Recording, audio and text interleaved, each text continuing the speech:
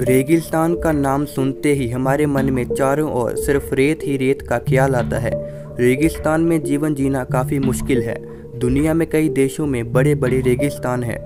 इन जगहों पर रेत के उड़ते गुब्बार और चारों तरफ़ फैला रेत का खौफ ही इंसान को काफ़ी मुश्किल में डालता है। लेकिन क्या आपको पता है कि दुनिया में एक ऐसा रेगिस्तान भी है, जिसके बीचों बीच एक बेहद सुंदर गाँव बसा हुआ है? यहाँ पानी और पेड़ पौधों की कोई कमी नहीं है। ये गाँव साउथ पेरू के आइसा शहर से सिर्फ़ 8 किलोमीटर की दूरी पर है, जो रेगिस्तान के बीचों बीच बसा हुआ है। इस गाँव का नाम हुआइका चाइना है। इस विलेज के बीचों बीच एक झील भी मौजूद है। हैरानी वाली बात है कि रेगिस्तान के बीचों बीच मौजूद ये पानी से भरी झील पूरा साल ऐसे ही पानी से भरी रहती है। इस गाँव में तकरीबन 100 से 150 लोग ही रहते हैं, जो यहाँ के नागरिक कहलाते हैं। हुआइका चाइना गाँव में आपको बहुत सारी दुकानें देखने को मिलेंगी, क्योंकि यहाँ बड़ी संख्या में टूरिस्ट आते रहते हैं। इस विलेज को टूरिस्ट प्लेस के हिसाब से बनाया गया है। यहाँ पर कई फॉरनर टूरिस्ट आते हैं और इस जगह का लुफ्त उठाते हैं। यहाँ बग्गी राइड और वोटिंग के लिए अच्छी अरेंजमेंट की गई है, क्योंकि इस गाँव के लोगों की इनकम का सोर्स टूरिस्ट लोगों से होने वाली कमाई है। इसके इतिहास की बात की जाए तो ये जगह 1940 में काफ़ी पॉपुलर हुई थी, क्योंकि उस समय राजा और शेख यहाँ पर आया करते थे। आम जनता के लिए इस जगह को 1990 के बाद से खोल दिया गया। इस विलेज की पॉपुलैरिटी का अंदाज़ा इस बात से लगाया जा सकता है कि इस गाँव की फ़ोटो पेरू की करेंसी पे छपी हुई है।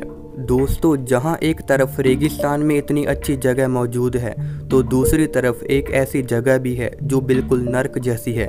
इस जगह का नाम है डैनाकिल। दरअसल, डैनाकिल नॉर्थ अफ्रीका के देश इथोपिया की एक अनोखी जगह है। इस जगह को इसलिए रहस्यमय माना जाता है क्योंकि यहाँ ज़मीन से हमेशा आग निकलती रहती है।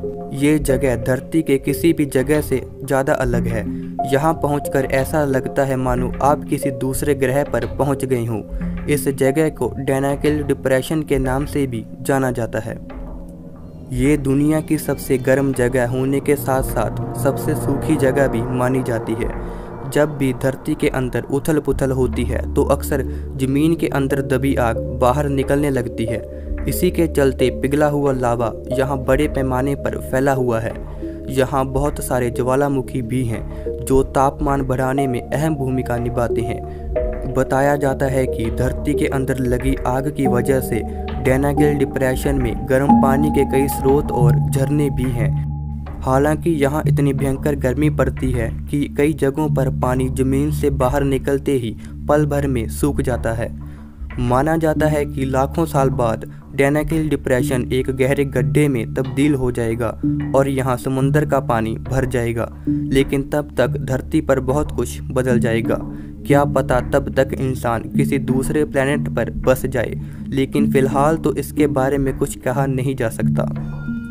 दोस्तों, आज की वीडियो बस यहीं ख़त्म होती है। ऐसे ही रोमांचक वीडियोस के लिए चैनल को सब्सक्राइब ज़रूर कर लें।